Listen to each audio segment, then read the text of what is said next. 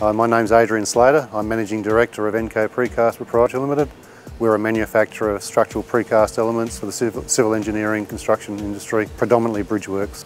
18 months ago we got involved in early stages of the Houghton Highway project. It's a 78 span bridge requiring 8 girders per span, total of 624 girders. We're making 312 girders. They're 35 metres nominal span, weighing approximately 80 tonnes per girder.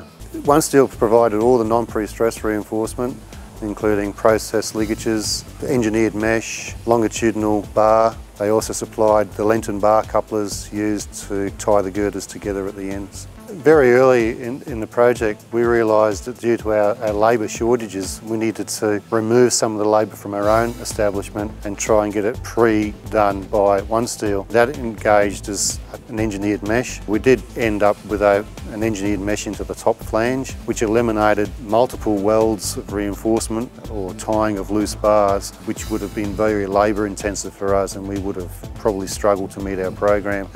In the precast business, we need very tight tolerances to be maintained.